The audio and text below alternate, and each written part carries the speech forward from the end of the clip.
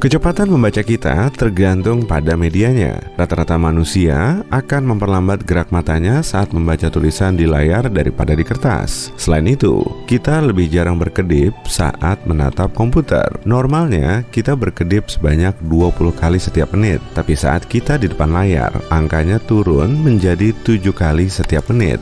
Penemuan radio tercatat sebagai peristiwa penting, tapi jumlah audiensnya baru mencapai 50 juta orang setelah 38 tahun. Padahal di zaman modern, iPod bisa mencapai angka yang sama cuma dalam waktu 3 tahun.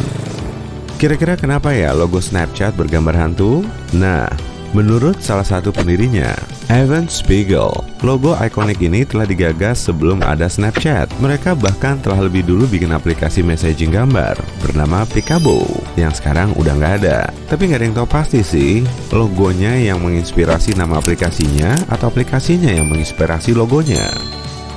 Spiegel milih gambar hantu yang terkenal itu karena dia mau nunjukin gambar yang terkirim via aplikasi tersebut super ngebut. Gambarnya cuma kelihatan sekali, kemudian ngilang tanpa jejak, mirip hantu baik. Inilah yang direpresentasikan oleh logo Snapchat. Spiegel nemu ide logo ini di malam hari saat dia mengamati banyak logo di berbagai aplikasi populer lain. Kemudian pria itu tahu kalau semua logonya nggak berwarna kuning. Jadi dia memakai warna ini dalam desainnya. Pada tahun 2011, logo Snapchat berupa gambar hantu tersenyum dengan dua lengan pendek, kepala bulat, dan lidah terjulur, mirip seperti kostum Halloween. Kemudian pada tahun 2013, gambar wajahnya dihilangkan. Dan menurut pemilik Snapchat, logo ini bisa nunjukin kalau setiap pengguna adalah simbol dari aplikasi mereka. Pada tahun 2019, desainer Snapchat menggelapkan dan menebalkan garis luarnya, tapi para pengguna Snapchat kurang menyukainya. Mumpung masih soal logo, kita juga perlu ngebahas Firefox nih. Dan ternyata di situ nggak ada gambar rubah. Banyak orang suka mengaitkan gambar ini dengan namanya, tapi hewan unyu itu sebetulnya panda merah. Mouse komputer pertama kali ditemukan pada tahun 1960-an dan bahannya nggak terbuat dari plastik tapi dari kayu. Alat kecil ini kemudian dinamakan mouse karena berbentuk kotak, mirip tikus. Kabel yang mencuat di bagian belakang juga mirip seperti ekor tikus. Nah, ini nih yang bikin gelembung sabun selalu berbentuk bulat. Saat udara terperangkap lapisan tipis air sabun, maka akan terbentuk busa. Molekul di dalam lapisan ini saling tarik-menarik, kemudian saling menyatu. Di saat yang bersamaan, lapisan ini menyusut menjadi bentuk kecil. Dan bentuk terkecil yang bisa melingkupi volume adalah bola. Ukurannya ini gak bisa mengecil lagi karena di dalamnya ada udara yang terperangkap. Wah, ada banyak popping candy. Pasti enak tuh. Permen ini dibuat dengan memanaskan campuran sirup jagung, sukrosa, dan laktosa hingga mencapai titik didih. Karbon dioksida alias CO2 muncul melalui campuran yang meleleh pada tekanan tinggi. Kemudian, campuran ini langsung didinginkan di bawah tekanan hingga gasnya nggak bisa keluar sampai permennya mengeras. Setelah tekanannya terlepas, permen ini akan hancur berkeping-keping. Tiap kepingnya mengandung banyak gelembung karbon dioksida yang sangat kecil. Gelembung ini tetap terperangkap di situ sampai permennya kita makan. Kondisi hangat dan lembab di dalam mulut mampu melarutkan gula dan gas ini akan terlepas dengan letupan. Samudra Pasifik punya kawasan unik. Kalau kamu bisa datang ke sana, jaraknya akan lebih dekat ke ruang angkasa daripada semua daratan di bumi. Lokasi kawasan ini paling jauh dari semua daratan di planet kita. Makanya sering juga disebut dengan kutub samudra yang gak bisa diakses atau Point Nemo. Lokasinya berada di bagian selatan Samudra Pasifik dan kamu perlu menempuh jarak sejauh 1600 km dari daratan terdekat untuk sampai ke lokasi jauh di lepas pantai barat Chili.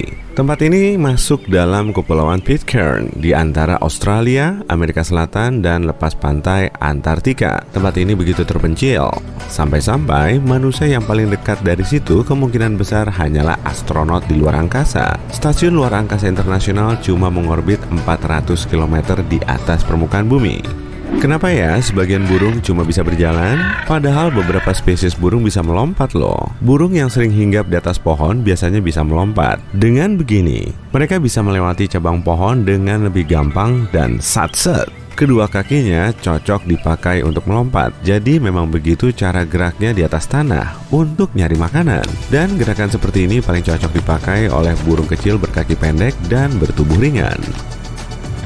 Tiap lompatannya bisa menghemat waktu dan tenaga sampai beberapa langkah untuk menghemat energi. Tapi melompat masih lebih lambat dari berlari kan? Makanya, burung sikatan hitam akan beralih dari melompat ke berlari saat ia harus buru-buru. Burung yang lebih banyak nyari makan dan bikin sarang di tanah lebih sering lari daripada melompat. Spesies yang nyari makan di sepanjang pesisir kemungkinan besar punya kaki panjang agar mereka bisa menyeberang. Dengan begini, evolusi telah membantu mereka supaya lebih efisien saat melewati area yang luas. Melompat dengan kaki ramping tentu nggak akan praktis kan? Hewan mangsa bisa memakai mata di belakang kepala mereka untuk melihat predator di sekitarnya. Tapi cara ini nggak akan berhasil. Mata mereka perlu melihat ke depan untuk nyari tahu tempat yang dituju. Kalau ada mata tambahan di belakang kepala untuk melihat predator, otak mereka perlu melalui proses yang kompleks. Organ ini juga perlu nyatuin dua pandangan tersebut. Mata mereka berada jauh di bagian atas kepala. Misalnya saja kelinci yang matanya berada di dekat pelipis. Dengan begini, medan pandangnya jadi sangat luas, tapi ada kelemahannya juga sih, yaitu titik buta kecil di depan mereka. Kambing punya pupil mata horizontal untuk melihat dalam bidang pandang sejauh 320 derajat tanpa titik buta. Matahari nggak cuma bersinar dan menghangatkan kita loh, tapi juga menghasilkan bunyi dalam bentuk gelombang tekanan. Gelombang ini muncul karena kantong gas panas dan besar naik dari dalam. Geraknya bisa mencapai ratusan ribu kilometer per jam hingga akhirnya sampai di permukaan matahari.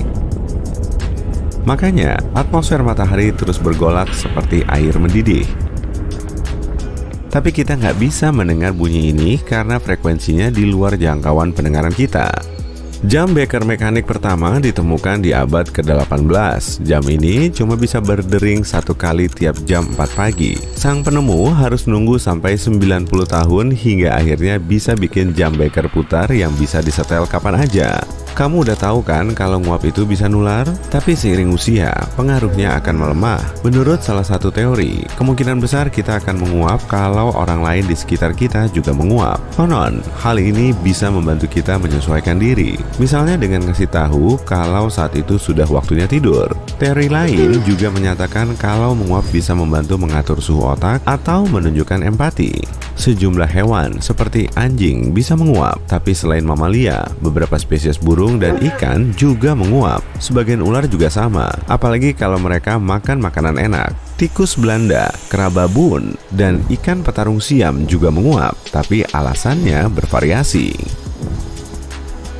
Kita kehilangan pendengaran saat menguap karena pengaruh otot di telinga tengah. Otot ini menempel pada tulang martil kecil yang bertanggung jawab untuk menyalurkan bunyi dari gendang telinga. Otot ini akan langsung berkontraksi saat tiba-tiba ada bunyi nyaring. Misalnya saat terjadi petir. Otot ini juga berkontraksi saat kita mengunyah makanan, sehingga kita nggak akan bisa mendengar bunyi di otot rahang.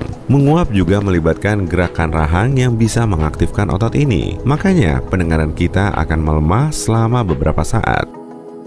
Kucing termasuk hewan yang lebih sensitif terhadap bau, bunyi, dan perubahan tekanan udara. Makanya, si Anabul tahu saat akan terjadi badai petir. Sebelum terjadi badai, telinga dalam kucing bisa mendeteksi penurunan tekanan udara secara tiba-tiba. Anabul mungkin bisa mengaitkan gejala ini dengan badai yang akan terjadi. Kucing juga bisa mencium hujan yang akan turun atau bau gas ozon yang khas. Gas ini berbau metalik tajam dan sering muncul karena petir.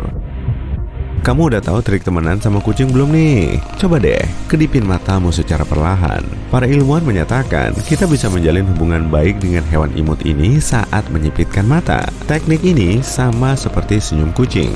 Jadi, kedipan mata secara perlahan bisa membantu membentuk ikatan antara si kucing dengan manusia.